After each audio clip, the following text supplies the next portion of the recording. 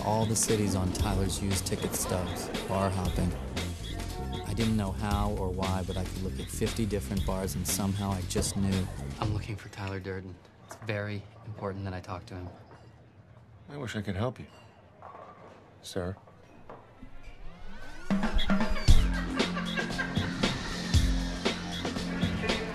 Every city I went to, as soon as I set foot off the plane, I knew a fight club was close. Look at my face. I'm a member. Now, I just need to know if you've seen Tyler.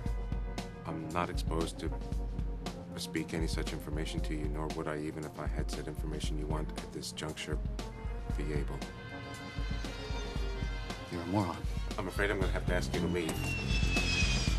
Tyler had been busy, setting up franchises all over the country. Was I asleep?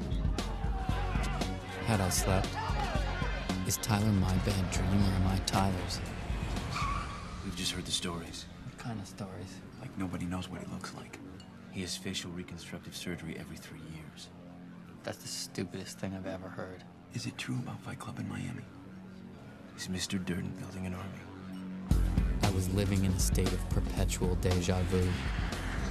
Everywhere I went, I felt I'd already been there. It was like following an invisible man.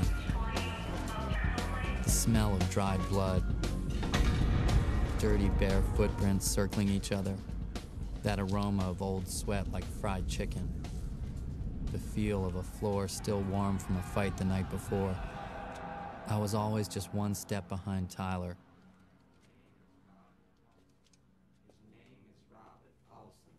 His name is Robert Paulson. It isn't. Welcome back, sir. How have you been?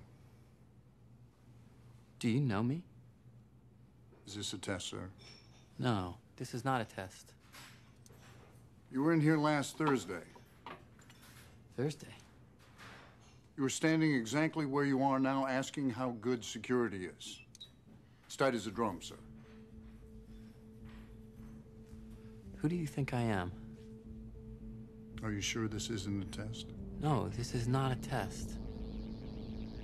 You're Mr. Durden. You're the one who gave me this. Please return your seat backs to their full, upright, and locked position.